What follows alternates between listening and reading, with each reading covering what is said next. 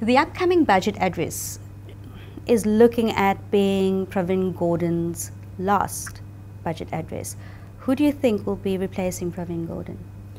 Well, firstly, I don't think he's necessarily leaving. We, we heard the speculation in the press that he might be at the end of last year, but since then, there's really only been rumour.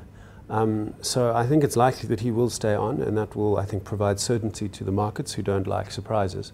And I think he's done a very good job in a very difficult situation. And because the situation is so difficult, and because he doesn't have the support of the president necessarily in his reform agenda, we've been unable to tackle unemployment properly. We've been unable to um, get economic growth higher. So the, the, economy in South Africa is not working, but I don't necessarily lay the blame at the door of the finance minister, who I think is trying in a very difficult environment. Um, in terms of replacements, I, you know, it's one area where the ANC is, is quite light when it comes to people who can speak credibly and with the respect of the markets on the economy. Um, I wouldn't like to speculate who it is, but the, the list that I have in my head is rather short.